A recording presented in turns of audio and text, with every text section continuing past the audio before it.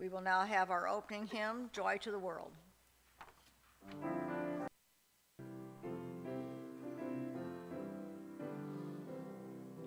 Joy to the world, the Lord is come.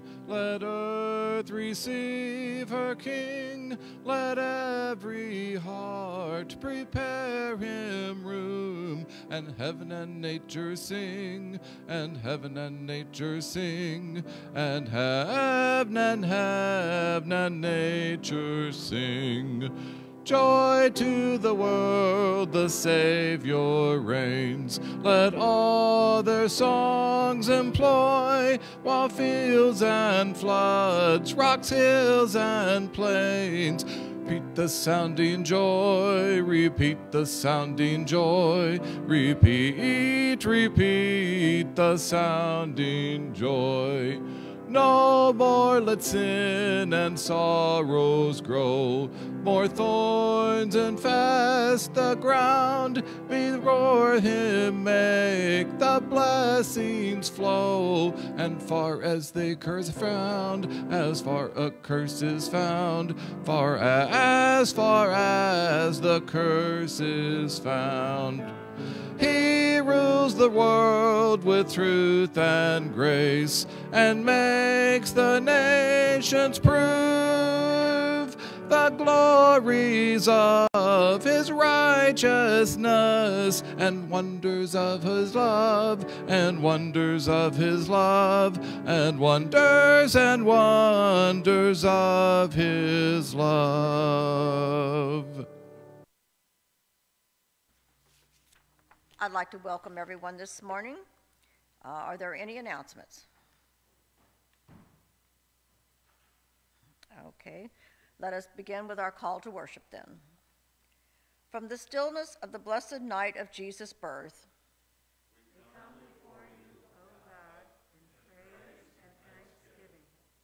From the astounding news sung to the shepherds, Let our hearts keep the joy and peace of Christmas always.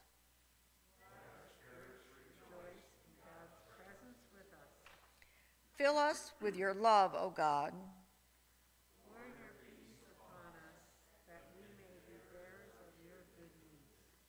Amen.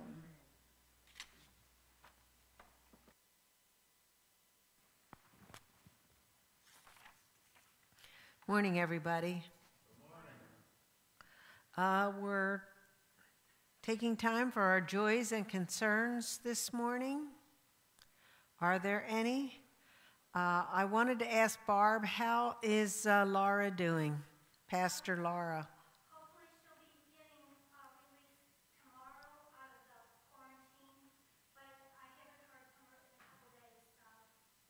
Did she ever get results from her test? It was positive. It was positive. okay. Right. Yeah, I saw her. She she was in a bad way last week. Are there any others? That's right. Carla's mother uh, is doing very poorly. Uh, so please keep her and her father in your prayers, the whole family. Um, any others? If not, then let us pray. Loving God, we have been touched by the joy of Christmas. You have filled us once again with the joy of living and the spirit of giving. Your promises have been fulfilled through the coming of the child Emmanuel. Jesus was born of the flesh that we might be born of the Spirit. May we be faithful to our birthright as we praise you for all you have done for us. You have shown us mercy through an abundance of steadfast love. You have saved us from trial and distress and brought us new hope and new life. How comfortable and complacent we become as we bask in your gift of this child. We want to sit beside the manger and linger a while. But the message of Christmas, O God of love, is a message of moving on. The donkey awaits to carry us on a journey, a journey into uncertainty. Just as you meet us in the familiar places, so too do you call us out to faraway places for our safety and our growth. Help us to trust in your abiding love and to not turn away from any of the possibilities you have in store for us. For you will see us through our times of suffering and affliction. In response to your faithfulness, your kindness, and mercy, we lift our prayers this morning. For all those who are refugees who are pulled away from the safety and security of their home for the poor in substance and spirit, and for all those who are without hope. We lift prayers for those who suffer from illness of any kind and loss of any kind. For those who must face the future with the loss of a loved one, and for those who see your presence in a time of trial. We lift prayers for ourselves that we might meet the hard decisions and difficult challenges, seeking first your guidance and your will for our lives.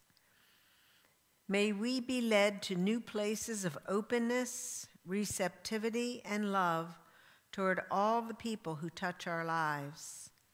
And may we receive the gift of your vision that sees beyond what the world is and reaches out always to what we can become. Now let us pray in the words that Jesus gave us Our Father, who art in heaven, hallowed be thy name. Thy kingdom come, and thy will be done on earth as it is in heaven.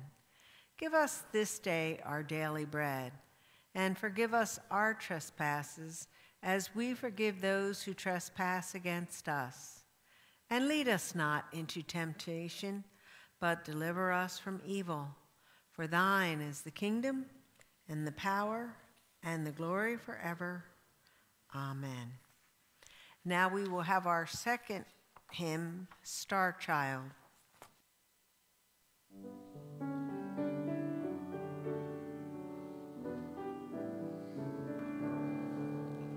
Star child, earth child, go between of God, love child, Christ child, heaven's lightning rod.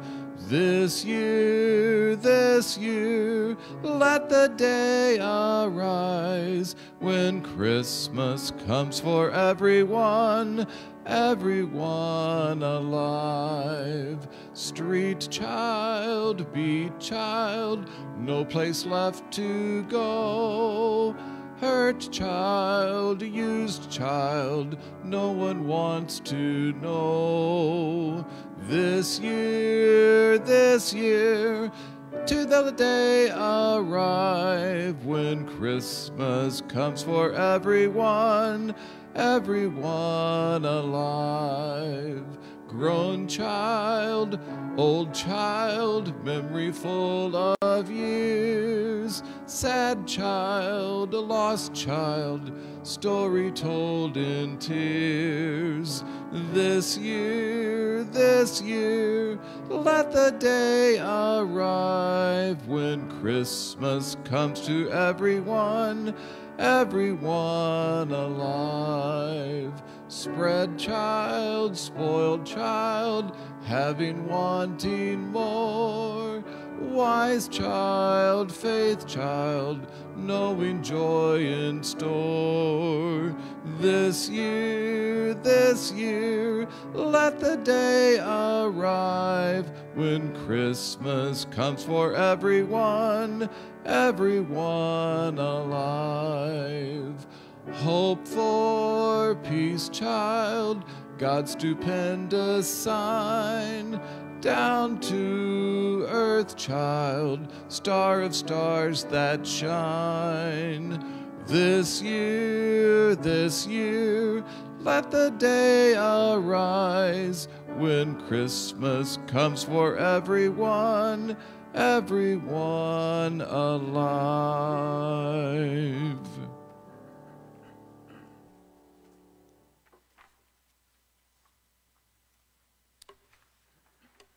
Our scripture this morning comes from the book of Isaiah, the 61st chapter. The Spirit of the Lord God is upon me, because the Lord has anointed me. He has sent me to bring good news to the oppressed, to bind up the brokenhearted, to proclaim liberty to the captives, and release to the prisoners, to proclaim the year of the Lord's favor and the day of vengeance of our God, to comfort all who mourn to provide those who mourn in Zion, to give them a garland instead of ashes, the oil of gladness instead of mourning, the mantle of praise instead of a faint spirit. They will be called oaks of the righteous, the planting of the Lord to display his glory. They shall build up the ancient ruins, they shall raise up former devastations, and they shall repair the ruined cities the devastations of many generations. Strangers shall stand and feed your flocks, foreigners shall till your land and dress your vines. But you shall be called priests of the Lord. You shall be named ministers of our God. You shall enjoy the wealth of the nations, and in their riches you will, shall glory. Because their shame was double and dishonors, you proclaimed as their lot. Therefore, they shall possess a double portion, everlasting joy be theirs. For I, the Lord, love justice. I hate robbery and wrongdoing. I will faithfully give you them their recompense, and I will make an everlasting covenant with them. Their descendants shall be known among the nations, and their offspring among the peoples. All who see them shall acknowledge that they are the people of whom the Lord has blessed. I will greatly rejoice in the Lord. My whole being shall exult in my God. For he has clothed me with the garments of salvation. He has covered me with the robes of righteousness. As a bridegroom decks himself with garland, and as a bride adorns herself with jewels. You shall be a crown of beauty in the hand of the Lord, and a royal diadem in the hand of your God.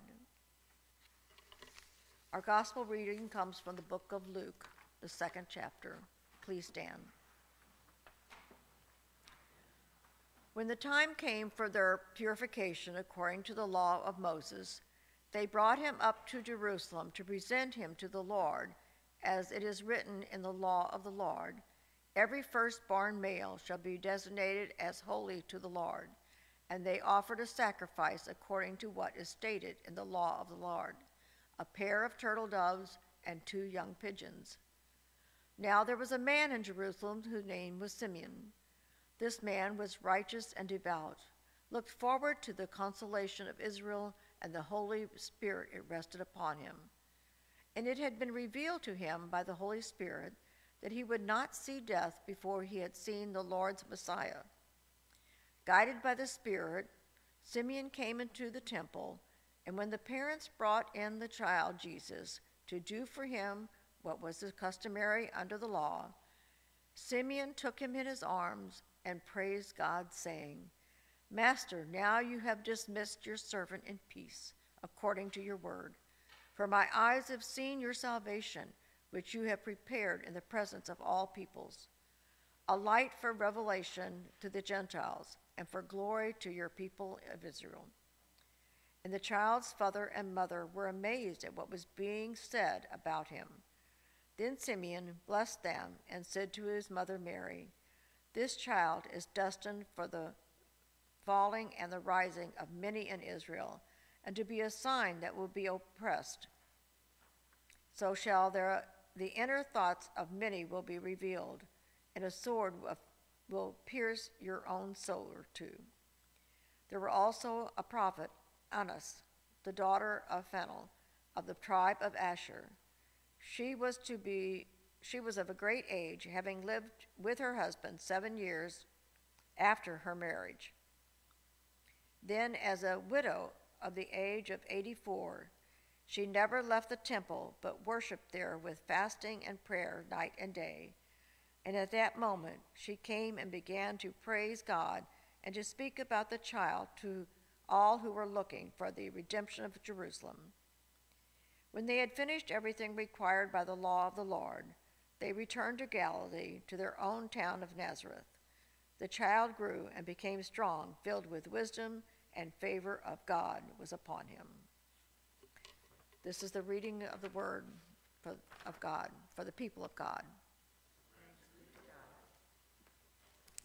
You may be seated.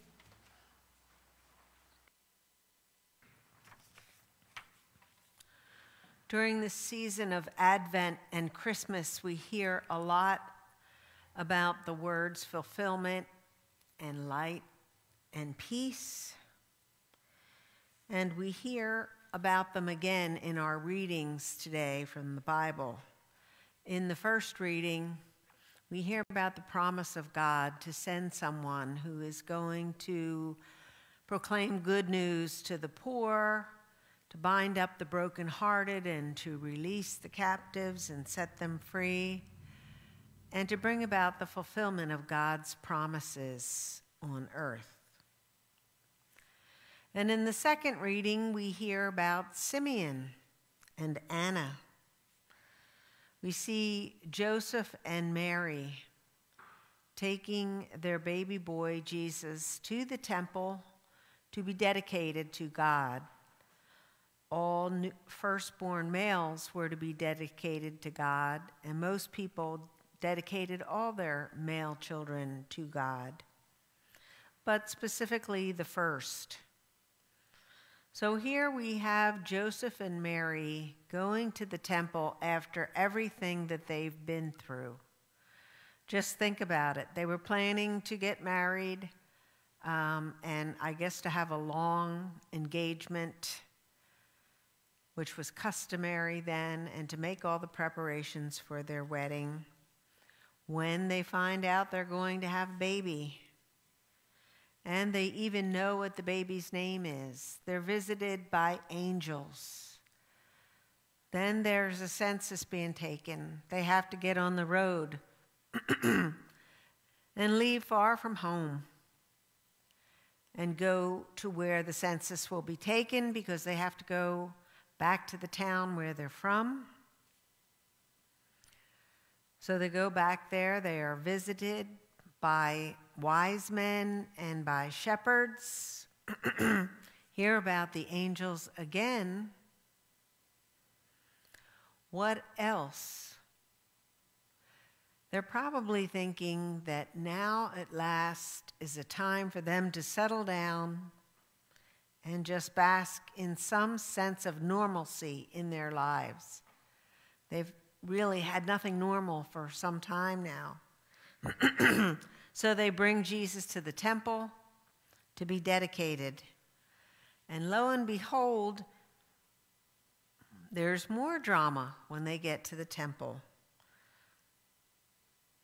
The man Simeon, who has the Holy Spirit placed upon him and who is very devout, sees the baby Jesus because he's led by the Spirit to go to the temple. He sees Jesus and he recognizes who Jesus is. And he comes up to talk to Mary and Joseph. And he sees the baby. And he holds Jesus and he says that now, Lord, your servant can go in peace because I've seen the fulfillment of your promises. You've made promises to, the, to us and now I'm standing here holding the fulfillment of that promise. And then he speaks to Mary and Joseph. And he says, Your child is a very special child, and he will be instrumental in the lives of many for their rising and their falling. And before it gets better, although he's come as the fulfillment of God's promises. Before it gets better, there will be hard times, just as there are with anything good in our lives, it will be challenging to both of them. I can only imagine what they must have been thinking at that moment. They've already been through so much, and now here they have this man who's been touched and moved by the Holy Spirit to come and tell them about their child. And even Anna blesses this child and sings when she sees him. And Simeon is ready to retire, to retire from life, because he has seen the fulfillment that God has promised. The people had been searching for a light at the end of the tunnel. the story of the ancient Israelites is one of slavery and bondage and being um, overtaken by other countries, being taken into exile, places where they didn't want to live, more than once, where they did not have a temple to worship in. And so the people have been longing to come back together, to be a people, a people of believers, a community of faith, a nation of faith. And now, in Jesus' day, they are back in their own country. They have a temple to go to. they are together. They are not technically under slavery or captivity, but they are under the watchful eye of the Roman Empire.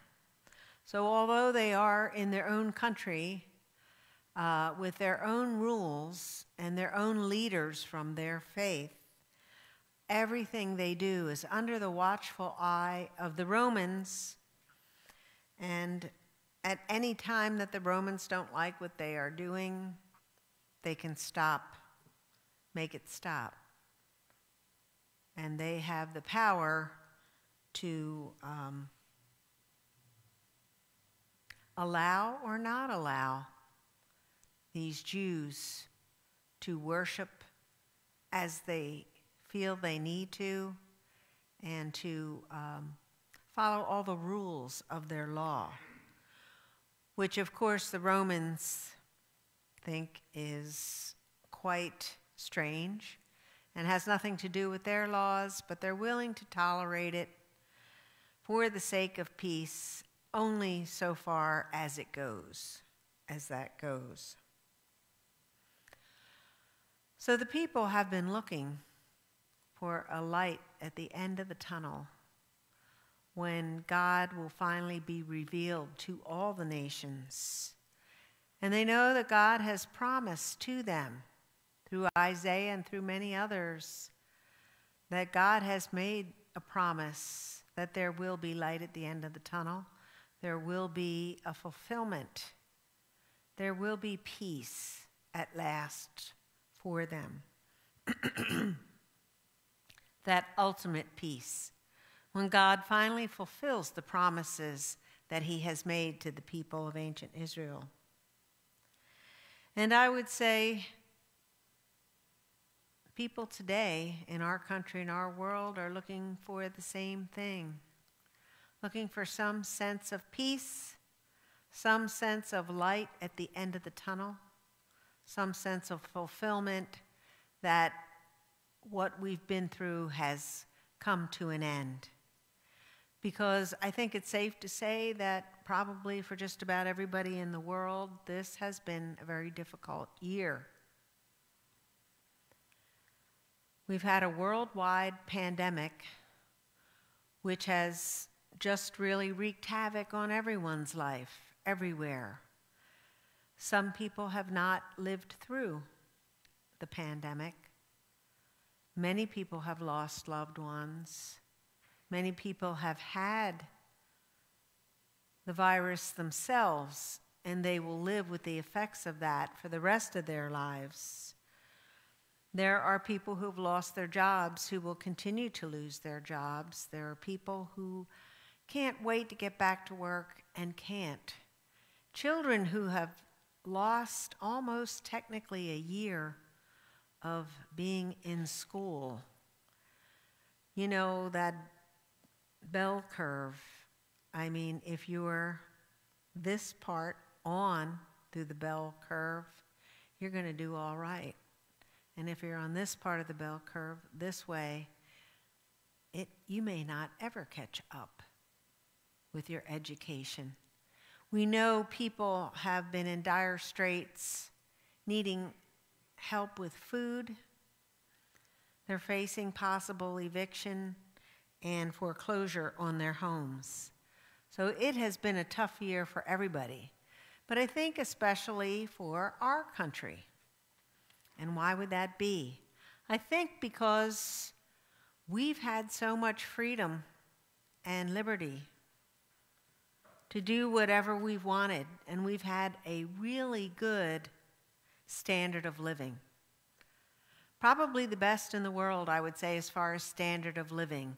Now, quality of life, which is something different, arguable, where you would get the best quality of life, but I believe we have a good quality of life as well as a very high standard of living. As a matter of fact, people all over the world look to the U.S. as the place where everybody wants to be, right? Our culture is the one that seems to be the exciting one that people like to see for fashion and music and whatever else that you can think of in our um, culture, especially through the media. We're the ones that brought out Facebook and Twitter and all those Google, all those other things where people can now see even more about how other people live in the world, and people want to come to America. That, that's the place to be. You know, our son lived in China for four years, and uh, people there love people from the West, but especially from America. And so our son was working over there, and he talked about how he knew he was always being watched wherever he went because they just have a fascination with Americans.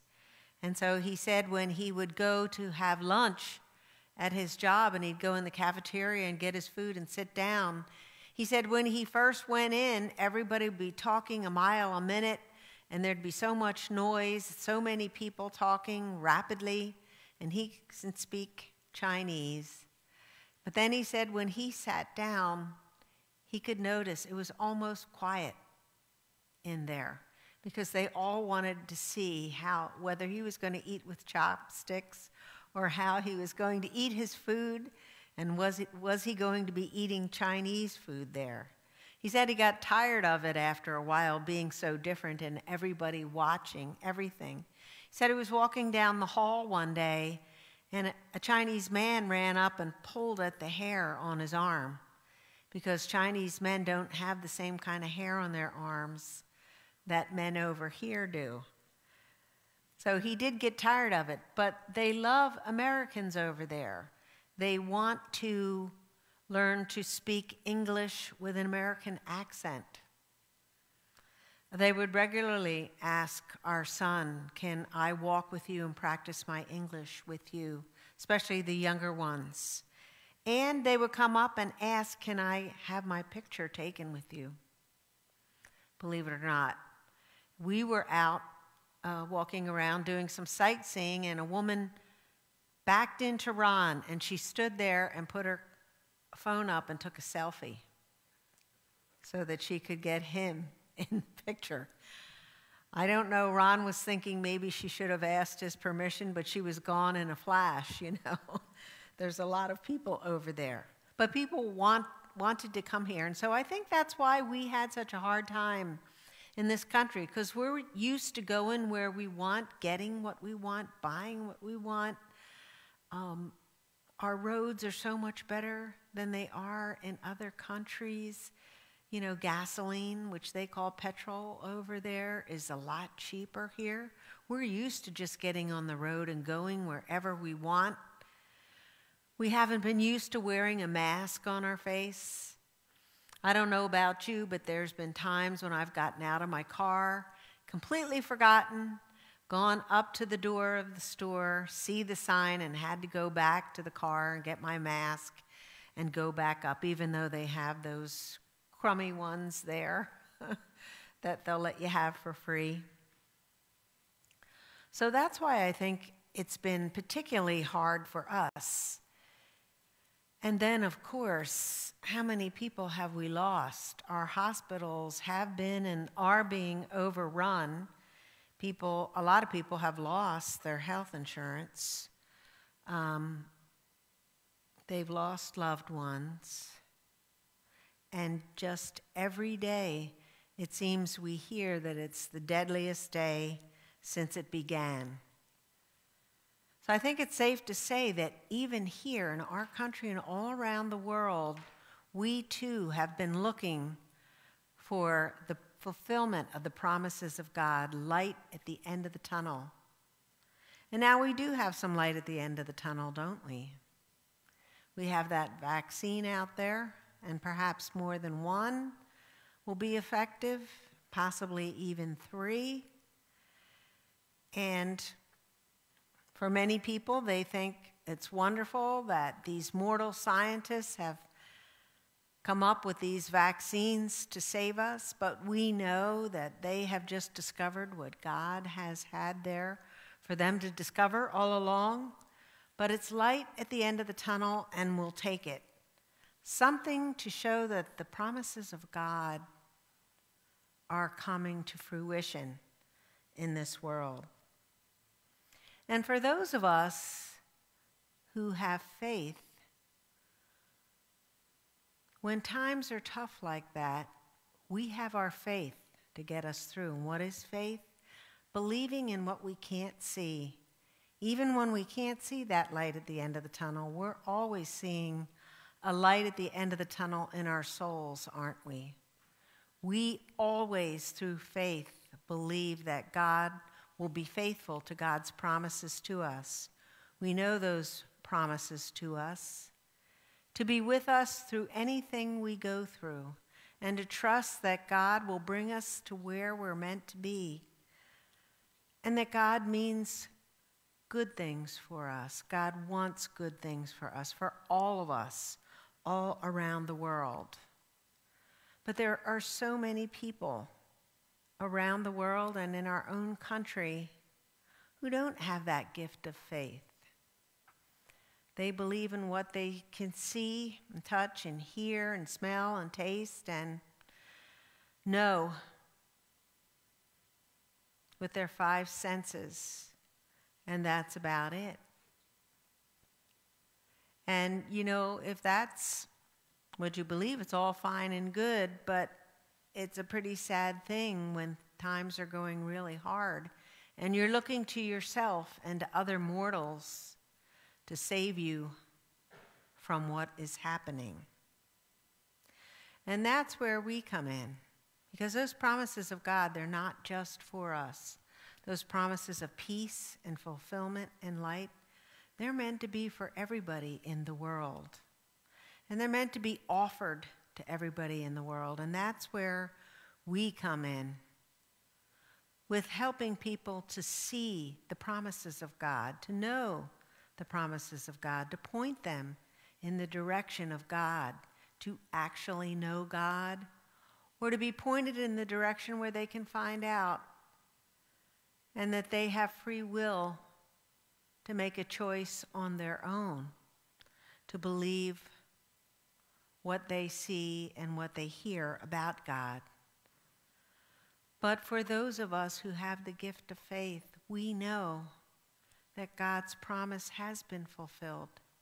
Jesus has fulfilled that promise, and that Jesus has come into the world for every single person. Every single person, no matter who they are, what they are, what they may have done in their life, whether they will ever believe in Him or not. in order to help them be the people that God has created them to be. And we are the ones to help those others. So many people suffering who will never darken the doorstep of a church, never seek to come in, and maybe just need to hear the word spoken in just the way that we might be the ones to speak it. Take that message out with you into all the world. Amen.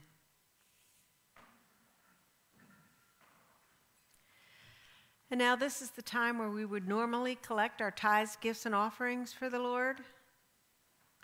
But because of COVID, we can't do that. But in the narthex, we do have two plates. One is for your donation for the church, the other is for a donation uh, for the Agape House. If you are joining us online, there is a place at the bottom of your screen where you can see how you also may donate.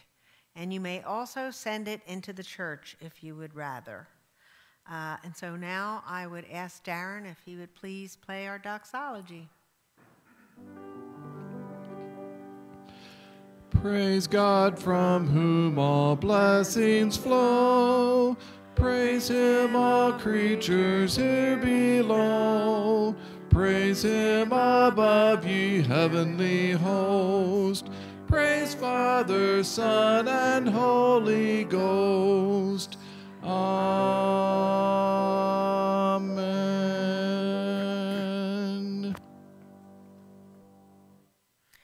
Now please join in the prayer of dedication, which is in your bulletin. God of hope and joy, the gifts we offer to you pale when our minds try to grasp all we have been given in this season wholeness in our woundedness, hope in our despair, peace in our turmoil, forgiveness in our rebellion. Like Simeon, our eyes have seen your salvation, and you give us light in our darkness. Help us embrace your extravagant generosity as we give ourselves to others. In our Savior's holy name, we pray. Amen. And now we will have our closing hymn, Go Tell It on the Mountain.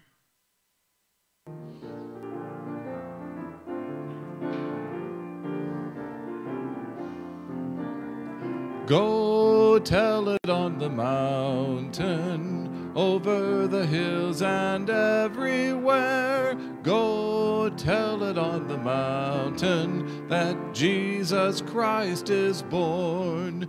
While shepherds kept their watching o'er silent flocks by night, behold, throughout the heavens there shone a lonely light.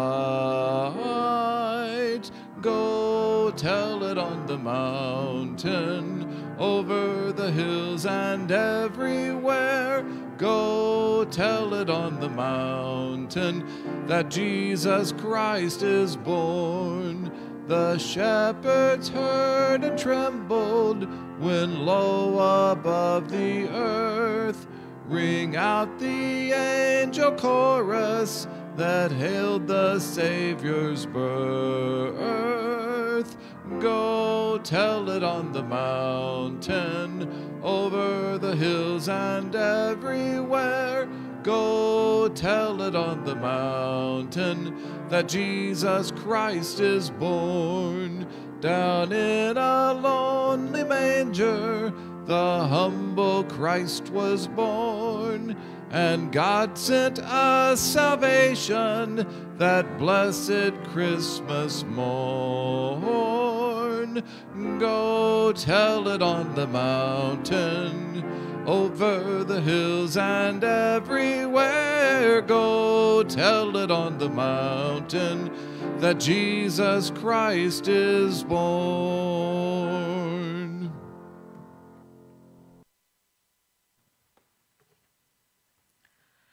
Receive the blessing.